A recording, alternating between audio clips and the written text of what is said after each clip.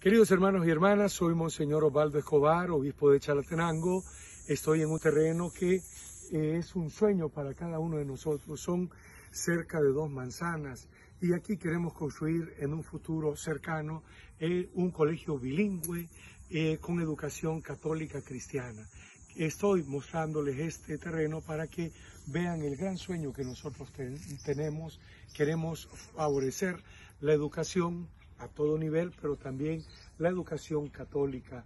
En este país la educación católica es la mejor educación que existe y por eso aquí en Chalatenango, un departamento sumamente golpeado por la pobreza, por la violencia, queremos que esta sea una alternativa para ir transformando la sociedad de este lugar.